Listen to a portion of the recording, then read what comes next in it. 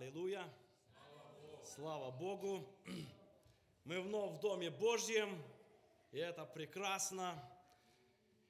И вот год уходит, и скоро откроется новая страница, и этот год уйдет в прошлое. И сегодня моя тема будет называться «Прошлое, настоящее и будущее». Прошлое, оно уходит, и вскоре придет будущее. И потому, дорогие друзья, мы сегодня об этом будем рассуждать. И я прошу вашего внимания, чтобы вы молились, чтобы мне передать все то, что Дух Божий вложил в меня, чтобы имя Божье было прославлено, и чтобы нам возрастать в познании Бога.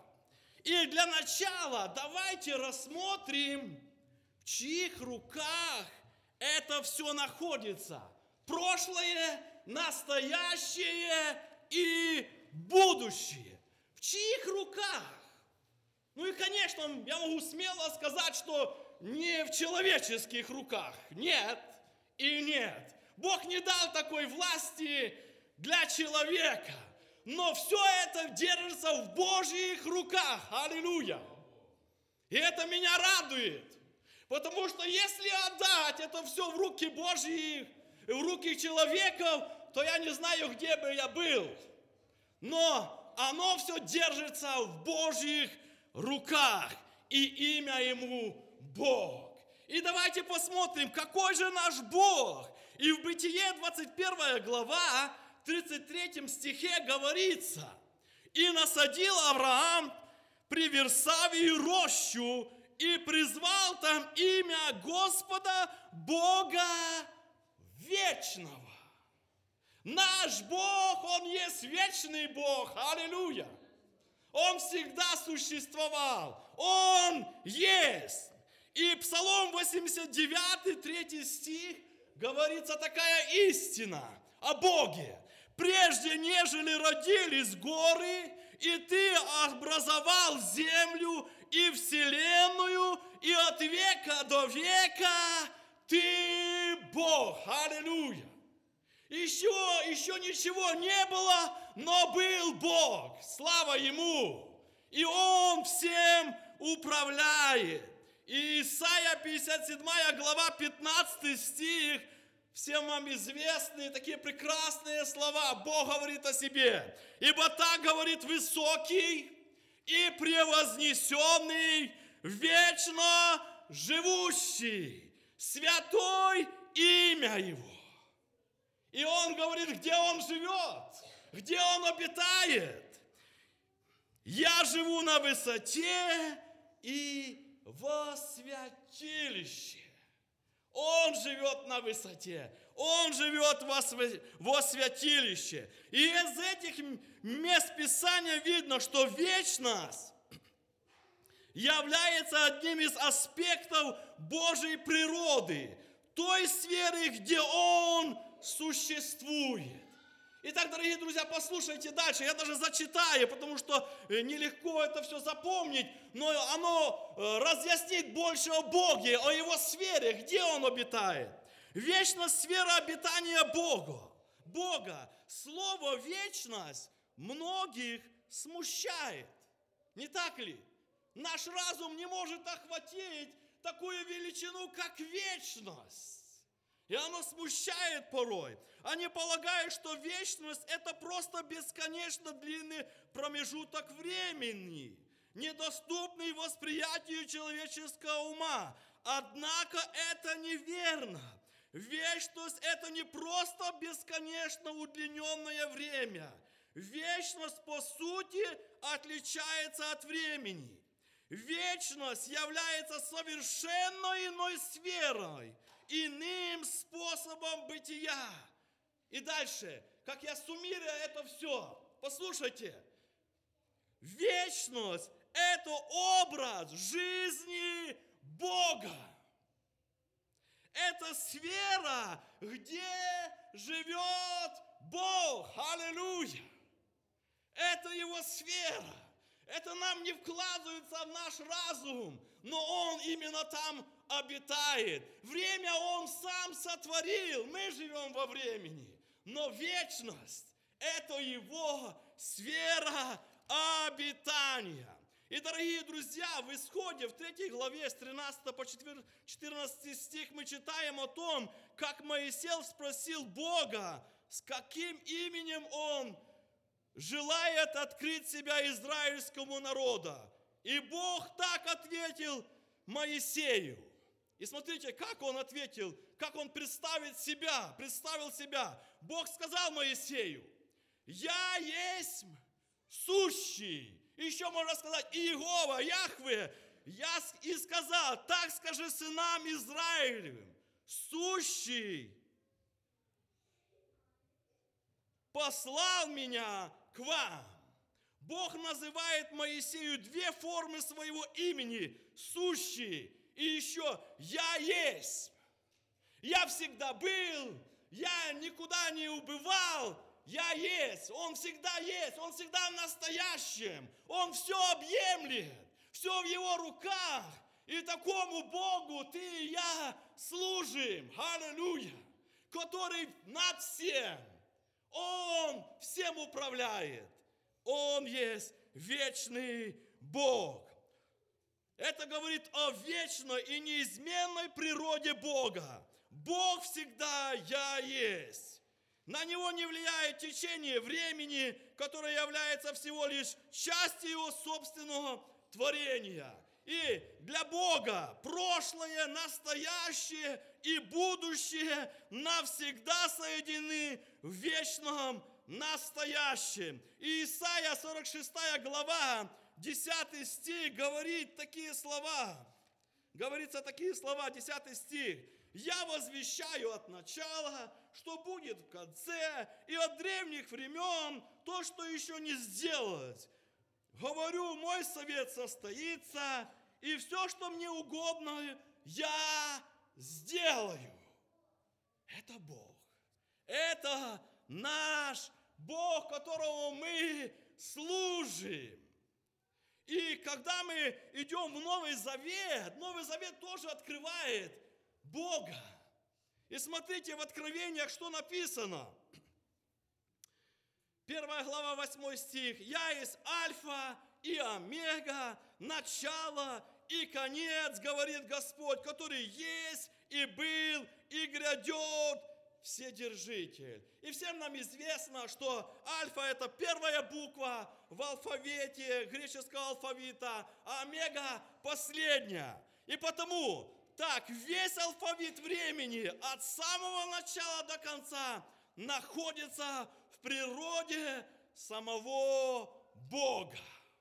Он всем этим управляет. И Он завершит по Его воле. Все это соделается. И второе имя Бога – Вседержитель. Соответствует еврейскому Эль-Шадай. И Бытие 17 глава 1 стих говорит так – Авраам был 99 лет, и Господь явился Аврааму и сказал ему, я Бог всемогущий, ходи предо мною и будь непорочен. И дальше открывается том, тому Богу, которому мы слушаем, имя всемогущий. Всемогущий. И корень формы, это еще имя называется Эль-Шадай. И корень формы Эль-Шадай означает Бог, который объемлет все, то есть всеобъемлющий Бог, в котором суммировано все творение от начала до конца. И также это все подтверждает и Новый Завет. Смотрите, что апостол Павел говорит. Ибо все из Него, им и к Нему. Он над всем. Верят люди в это, не верят. Он остается верный, и все по его воле будет совершаться и придет к своему финишу. Дорогие друзья, еще что мне очень нравится, когда я читаю Иакова, в первой главе говорится, какой наш Бог. И послушайте, что здесь говорится. Это первая глава, 17 стих. Всякое даяние доброе и всякий дар совершенный не сходит свыше от Отца Святого, у которого нет изменения и ни тени, тени перемены. У Бога нету теней, у Бога нету перемен. Он стабильный Бог. И все то, что доброе, которое ты получаешь в своей жизни, это Бог. За этим все стоит Бог. Он добрый Бог. Он над всем. И Он ведет тебя и меня. Слава Ему. Дорогие друзья, и впереди каждого из нас тот момент, когда времени больше не будет. Времени больше не будет. Тот момент, когда для каждого из нас завершится течение времени, и мы вступим в вечность. Аллилуйя! Я не знаю, как вы, но это меня радует, что скоро скажем мы этой земле прощай, и свершится у них переселение, аллилуйя, и придет вечность. И мы будем зреть славу нашего Бога. Аллилуйя! Это меня радует. Я думаю, всех святых должно радовать, что скоро придет тот час, когда мы будем у Его ног и созерцать Его славу, Его величие, и войдем в эту сферу. И эта сфера называется вечностью. И мы немножко порассуждали о том, какой наш Бог. И сейчас давайте поговорим о том, об этих сферах, о прошлом, настоящем и будущем. Как нам справляться все, со всем этим? Как нам справляться? И в основании я хочу поставить стих Писания Филиппийцам, 3 глава, 13-14 стих. Очень прекрасное, сильное Писание, Слово Божье. Смотрите, что говорит.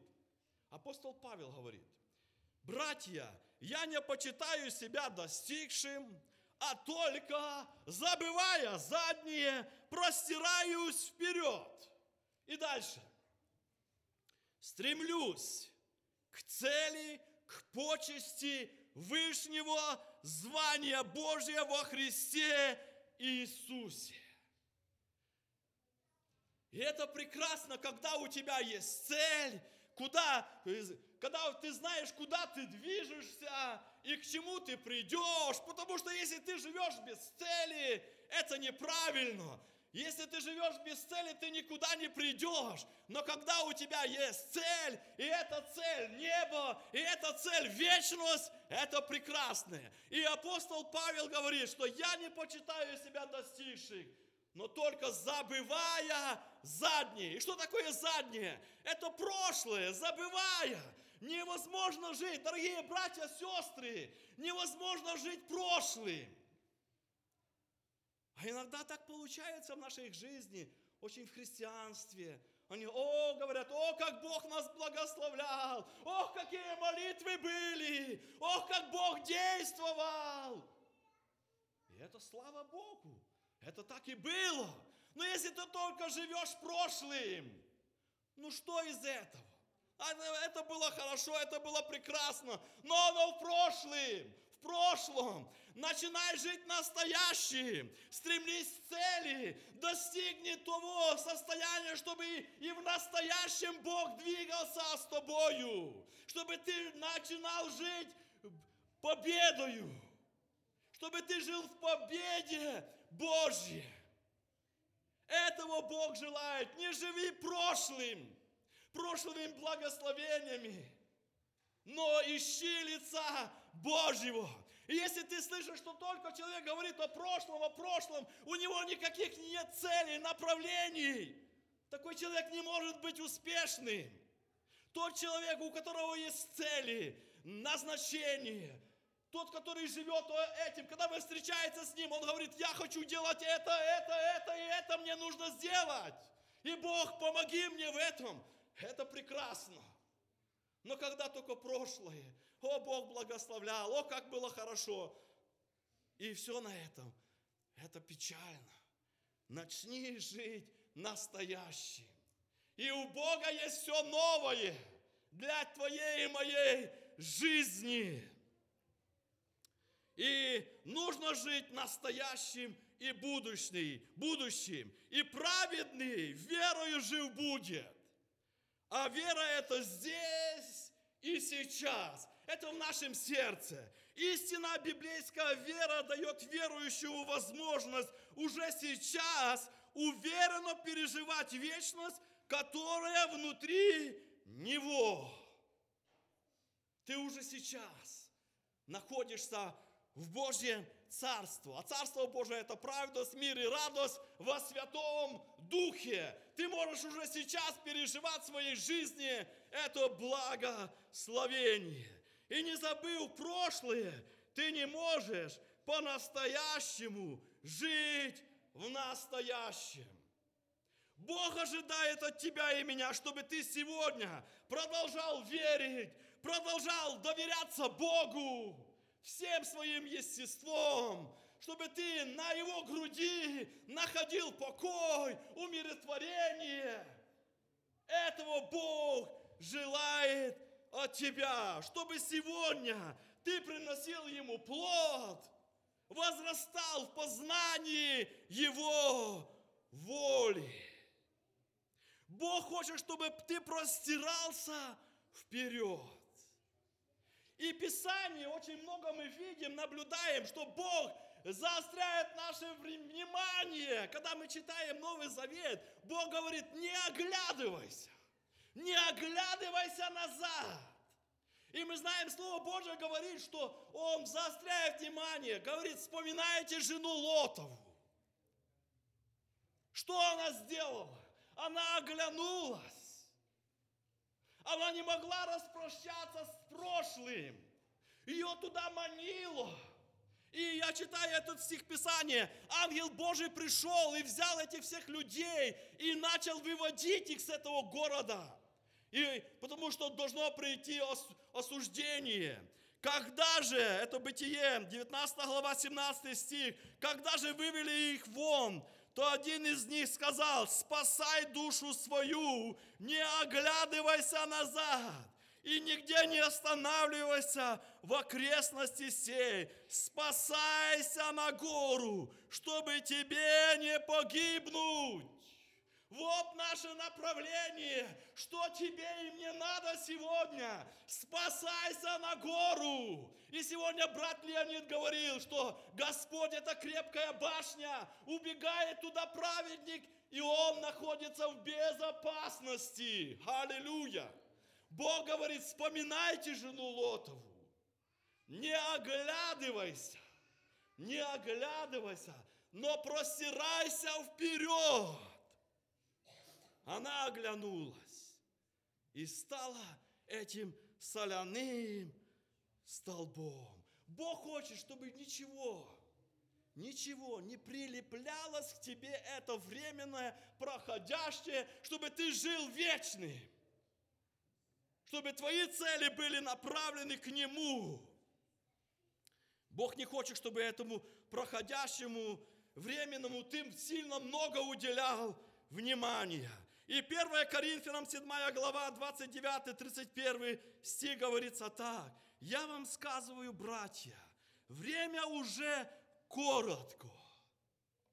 Так что имеющие жен должны быть как не имеющие, плачущие как не плачущие, радующиеся, как не радующие, и покупающие, как не покупающие, продающие, как не приобретающие, и пользующиеся миром сим, как не пользующие, ибо проходит образ мира сего.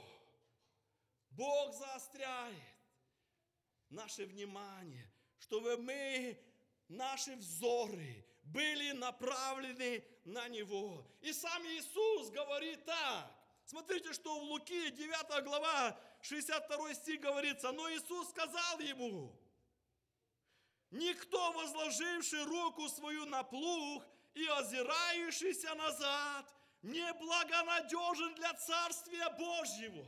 Никто, кто постоянно смотрит в мир, а как там в мире, а как они там живут, а я так хочу.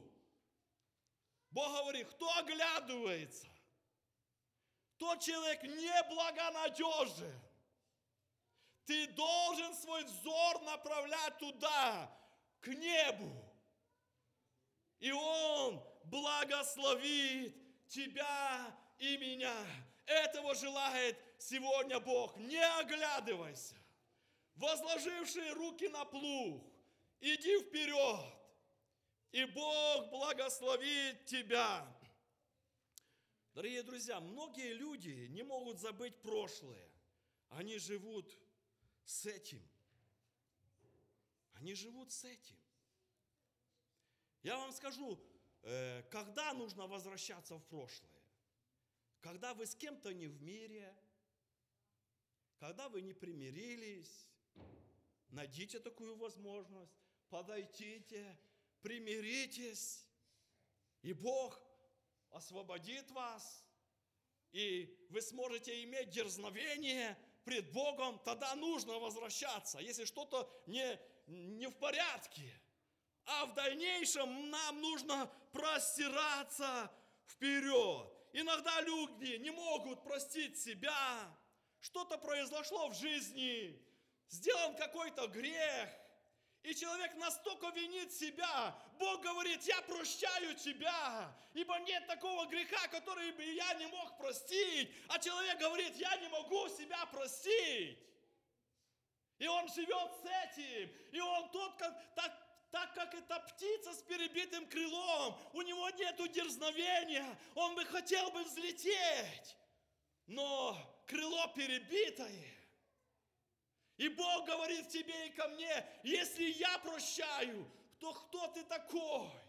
Что ты не можешь простить себе, что ты не можешь простить своему другу, брату.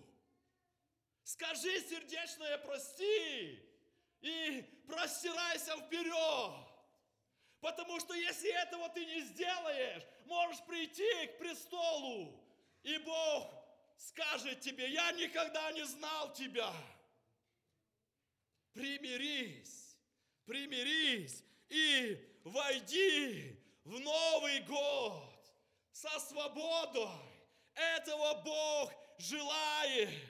И тогда ты сможешь расправить свои крылья. И тогда ты сможешь молиться, и твоя молитва будет услышана, когда эта преграда уходит, непрощение, горечь, злоба. И если это ты все оставишь, придет от Бога мир и прощение. Слава нашему Богу! И, дорогие друзья, и 1 Иоанна, 1 глава, 9 стих говорится, что если исповедуем грехи наши, то Он, будучи верен и праведен, что здесь? Простит нам. Если исповедуем, исповедуй всякий грех и ходи в свободе.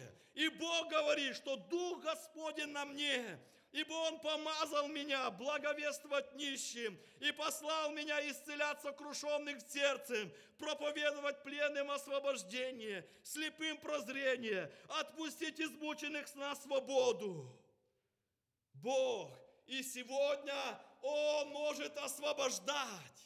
И даже на этом собрании ты можешь уйти свободным и легко вздохнуть. Потому что когда грех в сердце, тогда тяжело.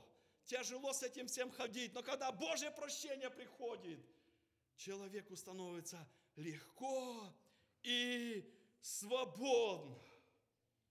Потому да благословит тебя и меня, чтобы нам двигаться только вперед. Итак, мы должны попрощаться с прошлым и сказать здравствуй настоящему и будущему. Это то, в чем мы будем жить. Настоящее приходит. И ты должен с этим всем справляться. И смотрите, что Писание говорит, какие мы были в прошлом. А если ты сегодня таков, то есть у тебя возможность исправиться. Смотрите, какие мы были. Смотрите, что пишет. 1 Коринфянам 6 глава 9 по 11 стих. Или не знаете, что неправедные царства Божье не наследуют, не обманывайте, не блудники, не идолослужители, не прелюбодеи, не малаки, не мужеложники, не воры, не лихаимцы, не пьяницы, не злоречивые, не хищники. Царство Божие, что написано? Не наследует. И дальше мне нравится этот стих. И такими были некоторые из вас. Это прошлое. Но что сделал Бог? Он говорит так.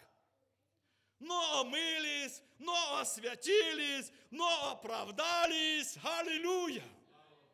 Именем Господа нашего Иисуса Христа и Духом Бога нашего. Вот наше положение сегодня в настоящем. Но мылись, но святились, но оправдались своими силами. Нет. Именем Господа нашего Иисуса Христа, который принес себя в жертву, который пролил свою кровь. Аллилуйя. И теперь ты должен ходить в этой свободе и жить настоящим. Итак, 2 Коринфянам. Какие мы же, какие мы перед Богом. 5 глава, 17 стих. Итак, кто во Христе? Ты во Христе? Если ты во Христе, то смотрите, что Писание говорит. Тот новая тварь, древнее прошло. Аллилуйя. А теперь все новое, слава Богу.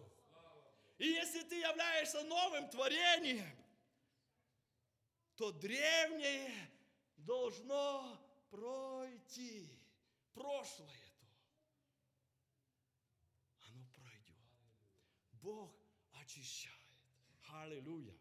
Это меня радует. И смотрите, что Бог говорит, что Он делает с этим новым творением, что Он сделает с человеком.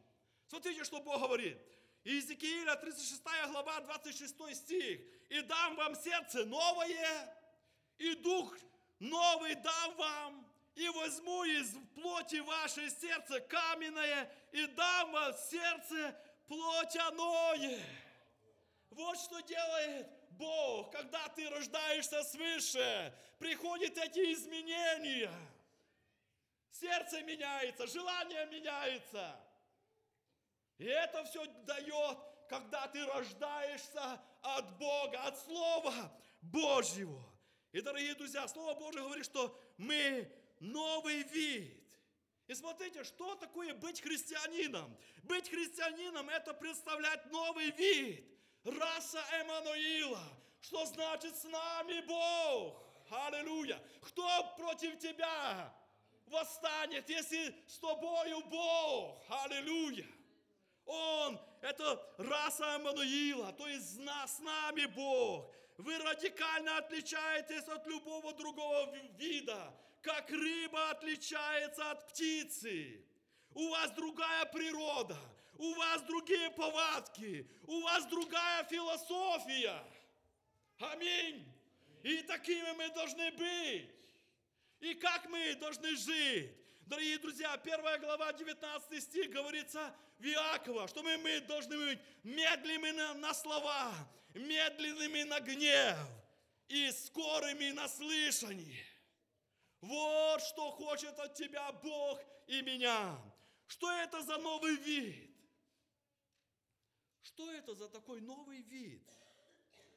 Новое создание, который которое внутри тебя и меня, у которого появилось противостояние. И какое противостояние появилось? Если раньше ты жил в миру, если раньше то, что ты делал, ты этим хвалился. Ты говоришь, вот посмотри, какой я крутой, что все это я имею, я там наворовал, я там так сделал, я там это сделал. И ты этим хвалился. А когда новое творение, когда новая жизнь вошла, ты хочешь освободиться от этого всего хлама. Аминь. Ты хочешь распрощаться с грехом. Ты не хочешь больше дружить с грехом. Почему? Потому что новая природа внутри тебя. Тебя тянет вверх. К высшему, божественному. Вот что происходит, когда ты рождаешься свыше. И потому идет противостояние. И если есть противостояние, если есть борьба, значит ты родился свыше. Аллилуйя. Потому что если ничего не происходит, каким был, таким остался, о, бойся этого. Но когда ты начинаешь бороться, когда ты начинаешь сражаться, ты говоришь, я не хочу с этим жить, это прекрасно. Бог поможет тебе, Бог скажет, Дух Святой скажет, продолжай в этом направлении, избавляйся. Поднимайся, переходи на новый уровень, от веры в веру, от силы в силу. Бог сегодня хочет этого от нас. И мы должны стремиться к зрелости, к зрелыми христианами становиться – и фактически знак зрелости – это баланс. Вы согласны с этим? И смотрите, что я сейчас даже прочитаю, вы даже, может, будете улыбаться. Фактически знак зрелости – это баланс. Не уходить ни в одну из крайностей. Не настолько духовен, что уже не приходен для земли. Иногда люди так заходят далеко, настолько духовно, не знаешь, как ему подойти, как с ним поздороваться. Настолько он духовный, что уже не приходит на земли. Но Писание говорит, что мы должны заботиться о своих ближних, о своей семье.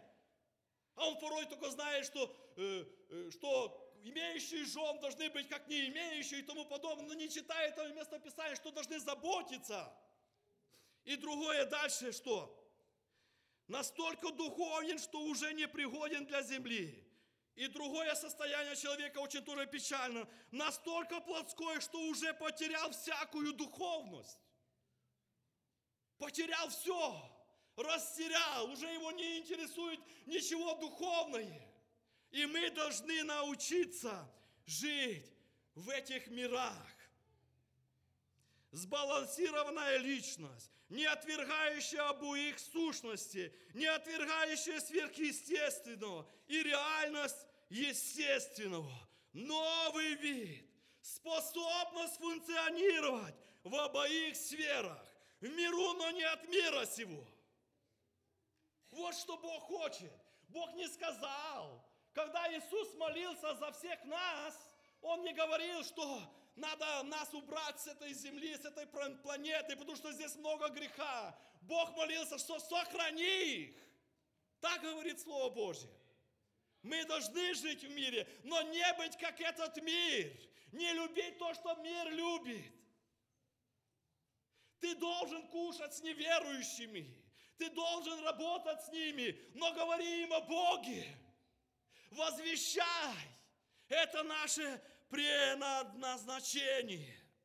Дорогие друзья, вы должны быть в нем, вы еще не вознеслись, вам нужно функционировать здесь. И он даже один брат сказал так, говорит, дорогие друзья, братья, сестры, послушайте меня. Отсюда выходят ножками. У нас еще нету крыльев. Нету крыльев как все.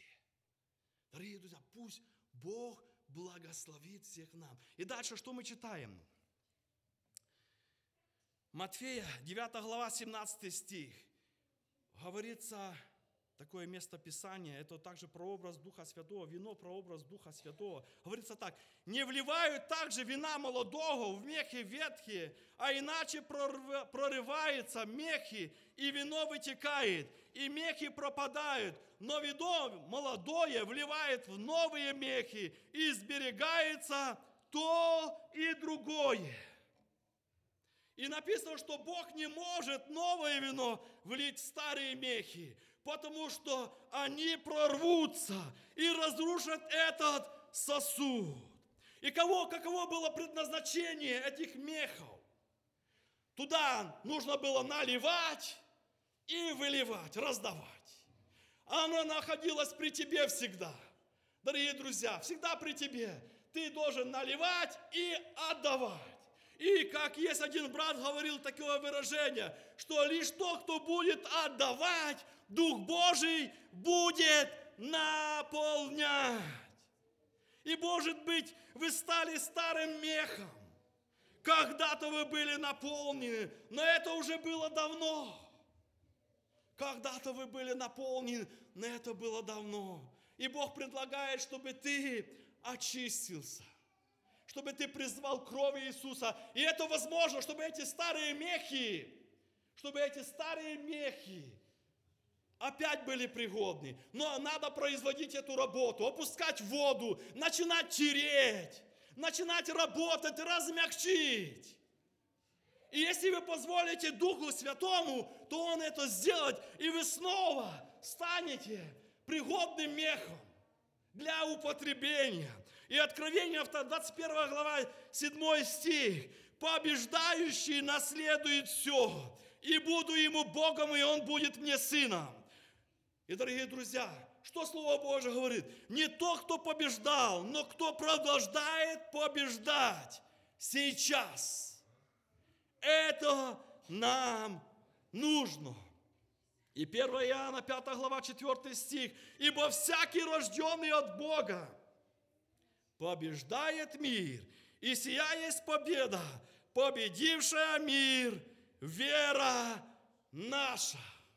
И вывод из сказанного, что же нам делать? Ефесянам 4 глава с 22 по 24 стих говорится так. Послушайте внимательно.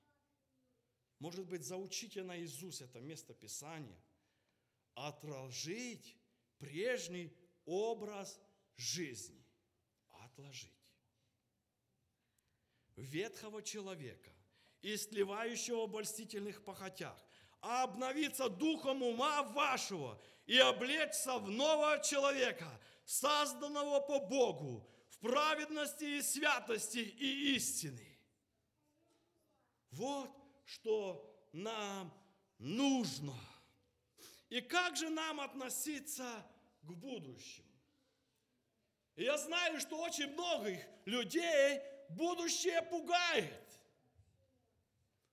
Потому что они не знают, что будет. Но когда ты в руках Божьих, ты не должен бояться это. Потому что 2 Тимофея, 1 глава, 17 стих. «Ибо дал нам Бог, Бог духа не боязни, но силы и любви и целомудрия». Вот что Бог дал нам. И что же нам надо? С верой и надеждой и любовью будем ждать избавления. И Римлянам 8 глава, 24-25 стих. «Ибо мы спасены в надежда, надежде. Надежда же, когда видит, не есть надежда. Ибо если кто видит, то чего ему и надеяться. Но когда надеемся того, чего не видим, тогда ожидаем в терпении». И Божье Слово говорит евреям, 11 глава, 35 до 39 стиха. «Итак, не оставляйте упования вашего, которому предстоит великое воздаяние. Терпение нужно вам, чтобы, исполнив волю Божию, получить обещанное. Ибо еще немного, и очень немного, и грядущий придет и не умедлит. Праведный верою жив будет. А если кто поколеблется, не благоволит тому душа моя.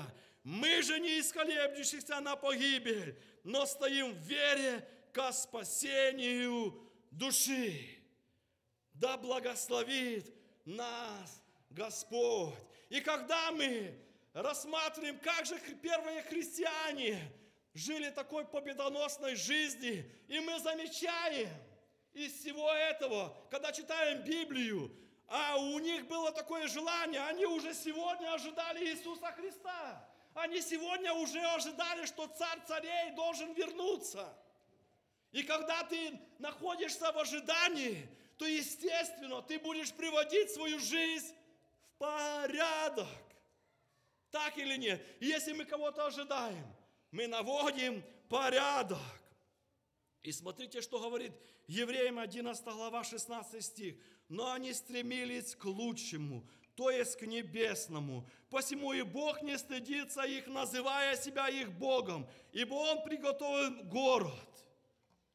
И к чему твое и мое стремление? К вечному или земному? И мы знаем, что видимое временно, а невидимое вечно. Куда направлен твой взгляд? Куда твои очи направлены сегодня? На видимое или на невидимое? Авраам, он, его очи были направлены. Он ожидал города, которым строителем, художником является сам Иисус. Моисей, он взирал на невидимого и оставался тверд. Апостол Павел говорит, что для меня жизнь Христос, а смерть приобретение. Пусть сегодня Бог поможет нам уповать на Бога всем сердцем, всею душою, положиться на Него. И уже у нас время заканчивается. Я читаю последний стих, Псалом 36, 37 стих. «Наблюдай за непорочным и смотри на праведного, ибо будущность такого человека есть мир». И последнее место, очень мне нравится. Дорогие братья и сестры, если ты ходишь с Богом, если ты ходишь с Ним, то я вот читаю, что будет с тобою. Смотрите, Филиппийцам 1 глава 6 стих. «Будучи уверен в том, что начавший вас доброе дело будет совершать его даже до дня Иисуса Христа. Аллилуйя! Бог поможет тебе пройти это все время. А теперь давайте мы склонимся и поблагодарим Бога за это собрание. Аминь.